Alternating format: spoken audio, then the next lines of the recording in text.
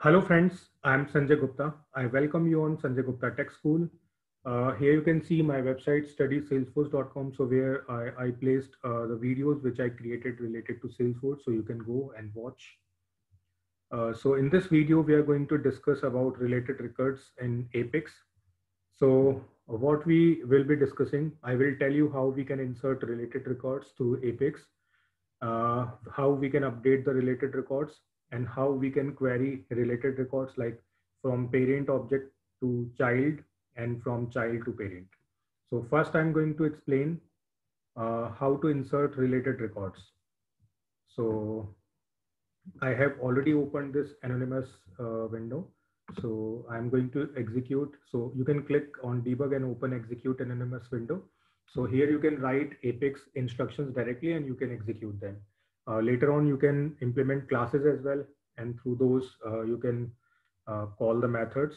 So those classes, uh, generally we implement when uh, we call the Apex classes through triggers. So in this video, we are just uh, understanding the Apex code. So we are not implementing any trigger. So those code will be directly executed this anonymous window. So what we are going to do, first we are going to create one account and then with uh, related to this account, we are going to create a contact. So account ACC equals to new account. And inside this parenthesis, I'm putting name. So name I'm putting as Sanjay Gupta Tech School. Then second field is phone. So in phone, I'm putting one, two, three, four, five, six and then I'm writing insert ACC. So when the statement will be executed, so this account record will be inserted and the ID will be available into this ACC. So further, I can use that ID to create contact. So, so here I need to put account ID equals to acc dot ID, then first name equals to Sanjay, then last name equals to Gupta and phone equals to 1, 2, 3, 4, 5, 6, right? And now I can write insert on. So first account will be inserted. So that ID will be available into ACC. Then we are fetching that acc.id and we are relating this contact, newly created contact with account. So now I'm going to execute this. So I need to click on this execute button Okay, so an error is there.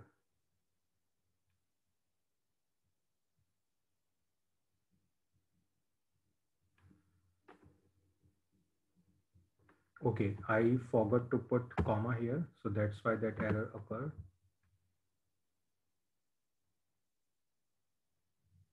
Okay, so here you can see uh, this is showing uh, exception field custom validation exception please populated uh, populate value of active underscore underscore c. So this is a validation rule so i need to put active underscore underscore c equals to yes. So these are the values for account. So again i'm going to click on execute. So yeah this time executed successfully so i'm moving to account so whatever you uh, perform through anonymous window that uh, also reflect in the org. So here you can see this account uh, Sanjay Gupta underscore Sanjay Gupta Tech School is created and it is having related contact as well. So phone is available. If we see the details of account, so uh, you can see here also phone number is available. So this way, I hope you understood how we can create related records through Apex.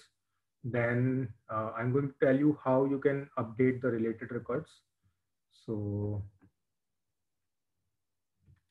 again, I'm opening anonymous window. So this time I'm first going to query the records and then I will be updating. So uh, removing all these. So contact con equals to, then I'm applying select ID, name and phone. These I'm uh, fetching for contact and for account, I'm just fetching phone, uh, then from, sorry, contact, uh, where name equals to Sanjay Gupta and account ID not equals to null right? So uh, those details will be queried. And here, let me uh, put one more condition and account dot name equals to Sanjay Gupta Tech School, right? So all the details will be available in the con. So now I can write con dot phone equals to. So uh, you saw right now we created both account and contacts and we provided phone number as one, two, three, four, five, six. This time I'm putting uh, triple one for con dot phone and con dot account dot phone. I'm putting two, two, two, six times. Then I'm uh, writing update con and then I'm writing update con dot right? And then I'm executing this. So moving here again, I'm refreshing. So here you can see for account details, uh, phone number is triple two, sorry, uh, six times two. And for contact, you can see uh, six times one are available. So this way uh, you can uh, update related records. So uh, we updated contact phone as well as we updated related account phone with this. So I hope this way you understood how we can insert related records, how we can update related records. Now, next is query related records. So first I'm going to tell you how we can query uh, parent to child. So this we will be applying on uh, standard as well as custom objects. So I'm removing this. So what I'm going to do, I'm going to implement a for loop. So we are applying, so okay, let me uh, first create a list of account acc list equals to new list of account and in this acc list i'm going to query so select id name now uh, this is uh, uh, we are applying query on parent because account is on parent side and contact will be on child side. So I will be querying contact now. So select ID name uh, from contacts. Now uh, from where this contacts came. So what you need to do, you need to go to child object. Then in field and relationship, search for the lookup to parent. So here uh, you can see lookup to account is available. Open this and here you need to search for the child relationship name. So that name you need to use while querying the child records. Now from account, so this way uh, we can apply the query, then where name equals to, so Sanjay Gupta Tech School. So this is the record we right now created. So that will be queried along with the contact that is available with that account. So now we can write system dot debug and here I can write ACC list ACC list, right? So now I'm going to execute this. So uh, the result will be displayed in the debug log. So here you can see uh, this is account ID and name are available. Now, if we want to display contact details, so we need one more system.debug and here we can write contacts and you can write ACC list. Uh, okay, uh, ACC list is uh, maybe containing more than one account, so we can iterate a loop then. So you need to apply if condition, then not ACC list dot is empty. So you need to check if list is not empty, then we can apply a for loop. So account ACC uh, then ACC list. So one by one account records will be available into ACC. And now you can apply system.debug contacts plus then acc.contacts. So let's say uh, you query two accounts and uh, each account is having two related contacts. So uh, one by one account details will be available into this ACC and the particular account related contact will be displayed with this. Right? And later on, uh, maybe if you want to apply some operation on the related contacts, contacts as well. So you can apply one nested loop as well, like this, acc dot contacts, right? So you can write the instructions, whatever you want to perform here.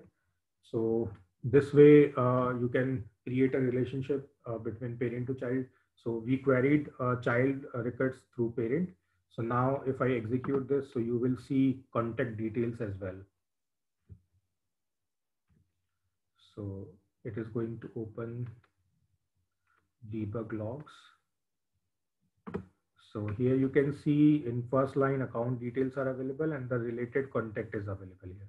And if you match these IDs, so account ID and here in contact account ID, both are same, right? So this way you can query the data right? And later on, what you can do instead of uh, creating this list, uh, let's say I'm commenting this, this as well, and this as well.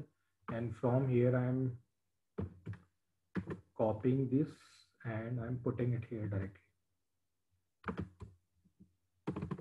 So what I did, I'm just uh, applying the query inside the loop. So if we do so, so what we can remove uh, we can remove this we can remove this and this. So no if condition is required because we are not having any account list this time. So whatever records we are querying they are directly available in the loop and then we are doing the operations right? So this is on uh, standard object. Now let me show you how we can apply this on custom objects. So i am uh, removing all these things. Yeah, uncommented. Now in my org, I have two custom objects, student and book. So student is on parent side and book is on child side. So uh, here you can see if I go to uh, fields and relationship of book object. So you will see one uh, lookup relationship to student. So here, if I open this, so we can identify the child relationship name. So that is books. So now how we can use this? So student underscore underscore C. So it is the parent one. So first I'm putting it, then this will be student list. So I'm putting it everywhere. Now uh, from student, I'm fetching ID name, then select ID name of books. So child relationship name. And also remember, we need to put underscore underscore R as well if we are uh, fetching custom object as a child. So this is student where name equals to, so student name I'm putting Sanjay, right? So uh, I have one student here whose name is Sanjay. And this student is having some related books. So here you can see two books are related. So those uh, related books will be fetched and here we are uh, checking student list is not empty. So here also student underscore underscore C std. So uh, here student list will be displayed. Now one by one student record will be available into std. And here I can put, put uh, books std dot books underscore underscore r. And later on, if I want to iterate it, so here I can write book underscore underscore C B, then std dot books underscore underscore R. So this is through child relationship name. And here we are uh, creating one variable of this book object. So that's why book underscore underscore C. So this way you can apply this uh, parent to child relationship on custom objects. So if I execute this, okay, spelling mistake. So yeah, student. So this is executing and the results will be available in the debug logs. So here you can see first uh, student details are available. In second line, you can see uh, book details. So total two books are related with that student. So first book name is 0005, second book name is 0006. And here you can see that as well. Right. So this way uh, you can perform operations on uh, related records by querying them. So this was parent to child. Now the time is for uh, last one that is child to parent, right? So let me show you how uh, we can do that. So first I'm going to uh, show you standard one. So on child side, we have contact and on parent side, we have account. So I'm writing contact con equals to select ID name. Then you need to write uh, parent side object dot uh, the field. So whatever uh, uh, parent is related whose name we want to fetch uh, from contact, where name equals to Sanjay Gupta. Right, so details will be available in the contact. Now, uh, so let me make this list of contact because there may be more than one records available. Now what we can do, we can iterate a loop. So here I can write contact con, con list, and I can write system dot debug. So I just want to display uh, these details. So let's say I want to display contact name. So I can write con dot name and if I want to display related account name, so I can write account name plus con dot account dot name. So this way you need to fetch. So uh, let's say we uh, retrieved five records. So five times contact name and uh, account name will be displayed, right? So uh, maybe what we can do, we can put them together as well. So I'm cutting it here from here, putting it here so that uh, for one contact, one account name will be displayed and so on. So now I'm going to execute this. So debug log will be opened and you will see the results. So here you can see contact name is Sanjay Gupta. So account is not associated with, uh, that's why null uh, for beginning three. Then fourth one is showing a name as Sanjay Gupta and account name is Tech School 7. Fifth one is having null, so account name is null. Uh, then sixth one is contact name Sanjay Gupta and account name is uh, Sanjay Gupta Tech School. So this way you can apply the process. So after fetching the uh, list, you can iterate it in the loop and then you can fetch the details like this. And uh, if you want, uh, you can put this query here as well. like this and you can remove this right now uh, here you can see uh, we used account directly but now if I uh, apply this on custom object like uh, child custom will be querying parent custom values. So that time we need to uh, use underscore underscore r. So I'm using book underscore underscore c b select id name and here I'm writing student underscore underscore r dot name. And from book underscore underscore c where name equals to so book name I am putting b dash 005 so here you can see uh, with 005 uh, student Sanjay is related so now first we are going to display book name through b dot name and then student name through b dot uh, student underscore underscore r dot. Now I'm going to execute this. So you will see uh, first book name will be displayed and the uh, student is related with that book record. So that uh, student name will be displayed, right? And if you want to give some space in between, so here you can write this So now if I execute this, so you will see some space uh, between label and the value so that you can easily read. So this is book name. So uh, arrow and space is available and student name, arrow and space is available. So this way uh, we can fetch uh, custom objects uh, from child uh, to parent. So remember one thing, whenever you are working on parent to child or child to parent on custom object, so you need to use this underscore underscore R. So while parent to child, so we need to use underscore underscore r with child relationship name and uh, from child to parent. So in that case, you need to use this underscore underscore r uh, instead of underscore underscore c, right? So I hope this way you understood all these things like how we can insert related records, how we can update related records and how we can query related records uh, both for standard and custom objects uh, from parent to child and child to parent, right? So I hope you understood whatever I demonstrated in this video. If you want to watch more Salesforce related videos, so you can open this website studysalesforce.com and uh, you will have lots of video collection there. So do watch them. Thank you for watching this video.